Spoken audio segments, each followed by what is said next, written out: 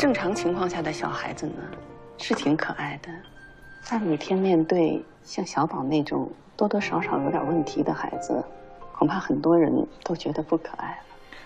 大姑，是这样的，正是因为我知道他们天生有多可爱，所以才更想帮他们把病治好。那些被你救过的孩子很幸运，但是我希望你能离开小宝和乔燕。我知道，您觉得我配不上乔燕，但是大姑，你真的愿意他为了公司去娶一个自己都不爱的女人？然后不开心的过一辈子吗？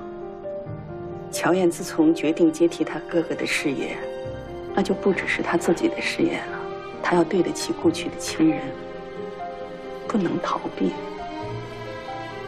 是，大姑，我觉得您说的对，但是很自私。门不当户不对的情侣，很难步入婚姻，即使是结了婚。也不会幸福。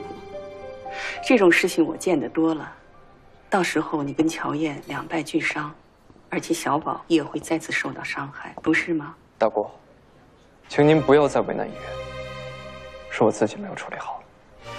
这么快就缓过来了，看来你真是很在乎他呀。我当然很在乎他。我知道，贺氏是需要我付出全部心血的地方。从大哥和大嫂去世的那天开始，我就已经接受了这样的事实。这些年来，除了贺氏和小宝，我没有任何自己的生活。我很清楚我们家的情况，我更清楚我的处境和责任。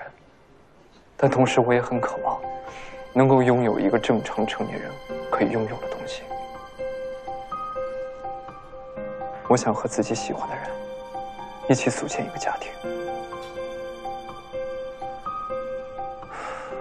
大伯，你想要的，我会帮你实现。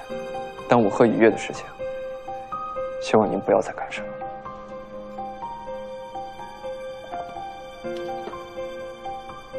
我们走。